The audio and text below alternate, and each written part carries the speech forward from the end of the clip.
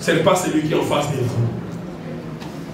Votre ennemi, c'est ADF. Votre ennemi, c'est la pauvreté. Votre ennemi, c'est la famine. Recherchez à bouter dehors cet ennemi-là. L'administration militaire de l'Itourie, plus que déterminée à ramener la paix dans cette province, plusieurs rencontres intercommunautaires sont organisées pour aplanir le divergence de vie entre certaines communautés. Depuis ce jeudi 7 juillet, le communauté Biradiru Muhema réfléchit sur la paix, la sécurité et la coexistence sociale dans ce territoire, ceci sous la facilitation de la MONUSCO. Le représentant de ces deux communautés, ces assises de trois jours constituent une occasion pour établir les relations de bon voisinage. Notre souhait serait que toutes ces initiatives ne demeurent pas vaines à l'instar de deux communautés, deux groupes armés à signer les actes d'engagement.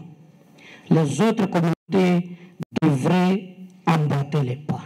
Aujourd'hui, si les deux communautés se retrouvent encore face à face, nous espérons, nous comme euh, communauté que les choses vont se diluer et que nous allons tous revenir au bon sentiment.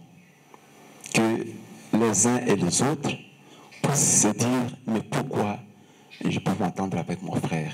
Au vice-gouverneur policier de l'Itourie, le commissaire divisionnaire à Longaboni Benjamin, qui a ouvert ses assises, d'appeler les participants à prêcher la paix dans leurs communautés respectives. Réfléchissez sur le sort de l'Itourie, sur le sort de vos enfants, sur le sort de vos investissements que vous avez faits ici et ouvrez votre cœur. Acceptez l'autre tel qu'il est, avec ses qualités, avec ses défauts. Mais faites de ses défauts des qualités pour vivre ensemble.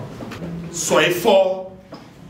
Même si vous avez subi des, affronts, supportez, tournez la page, voilà, regardons de l'avant. Signalons que cette rencontre intervient après celle qui a réuni le communauté Hema et Lendou il y a quelques jours, toujours dans l'objectif de rechercher une paix durable en Ituri, conformément à la vision du chef de l'État, Félix Antoine Tshisekedi incarné par le gouverneur militaire, le lieutenant général Luboyan Kashamadjouni.